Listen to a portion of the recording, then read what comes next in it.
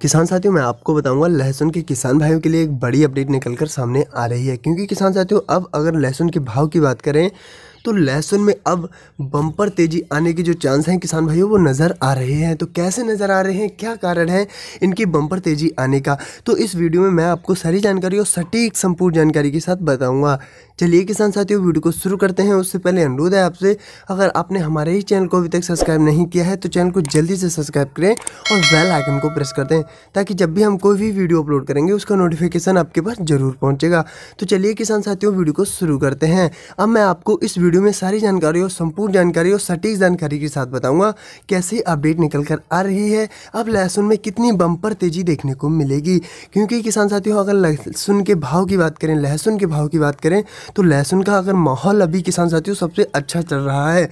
क्योंकि किसान साथियों, लहसुन में तेज़ी आने के कारण क्या है? तेज़ी आने के जो बिंदु हैं किसान साथियों, वो क्या नज़र आ रहे हैं? तो दोस्तों, सबसे पहले अगर बात करें लहसुन की उपज के बारे में तो किसान साथियों 2020 की अपेक्षा मतलब पिछली वर्ष की अपेक्षा, इस वर्ष लहसुन की जो उपज है किसान साथियों, अपने इंडिया में 20 परसेंट लगभग कम होगी। क्योंकि कहीं किसान साथियों, कीटनाशक की वजह से लहसुन बर्बाद हो गया तो कहीं आंधी, तूफ़ान, तू बारिश, मौसम की वजह से किसान साथियों, जो लहसुन है, उसकी कमताई देखने को मिली है। तो ऐसे में किसान साथियों, जो अपना लहसुन है, पिछली वर्ष तो लॉकडाउन होने की वजह से ज़्यादा माहौल चेंज नहीं हो पाया था, लेकिन इस वर्ष किसान साथियों, क्या अपडेट निकल कर आ रही है कि विदेशों में जो अपने हिंदुस्तान का लहसुन है, उसकी ज़्यादा डिमांड निकल कर आ रही है। जो विदेशों में जो अपना इंडिया का लहसुन है, उसकी ज़्यादा डिमांड निकल कर आ रही है। और किसान साथियों, एक बड़ी अपडेट पहले क्या होता था, जो अमरेट ऊँटी लहसुन था किसान साथियों उसे आप घर पर भंडारण नहीं कर सकते थे।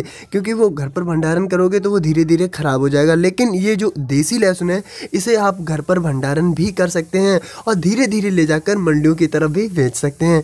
तो ऐसे में किसान साथियों, बहुत सारे किसान भाइयों का और बहुत सारे व्यापारी भाइयों का यही कहना है कि अब जो माहौल है, जो किसान साथियों, लहसुन को लेकर जो माहौल है, वो चेंज होता हुआ नज़र ज़रूर आ रहा है।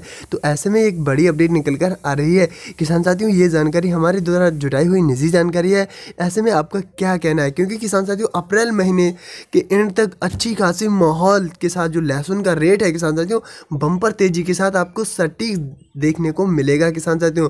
और ऐसे में आपकी राय क्या है? आप अपनी फ़सल का निर्णय ले सकते हैं। और किसान साथियों, आपकी राय है क्या? तो हमें कमेंट करके ज़रूर बताएँ। हम आपकी कमेंट का इंतज़ार ज़रूर करेंगे।